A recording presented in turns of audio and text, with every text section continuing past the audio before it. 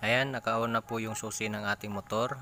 So, naka 9.9 volt lang tayo dahil ah, sira yung battery natin. Then, ito yung kanyang ah, park light. Then, ito yung kanyang headlight, low beam. Then, high beam, low beam, high beam.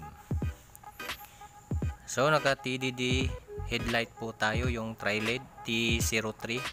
So, mahina po siya. Naka 9.7 volt dahil ah, sira yung battery natin. Then, ito yung ah, MSM na mini driving light, low beam, kulay dilaw.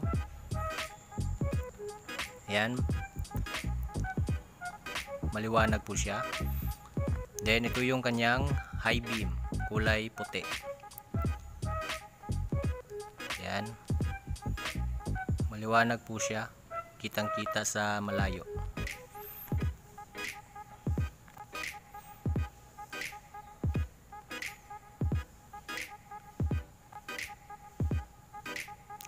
Then, pagsabayin naman natin ang ah, headlight, TDD headlight, low beam, high beam,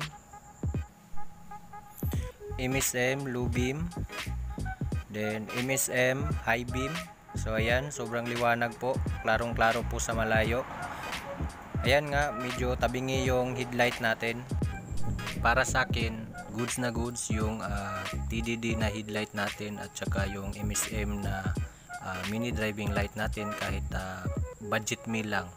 So, salamat Shopee.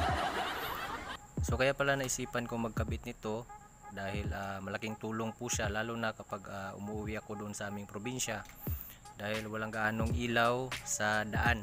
Medyo madilim. Ayan. Ah, sana tumagal yung ah, TDD tsaka MSM na ah, mini driving light natin. Yun lang. Ride safe mga riders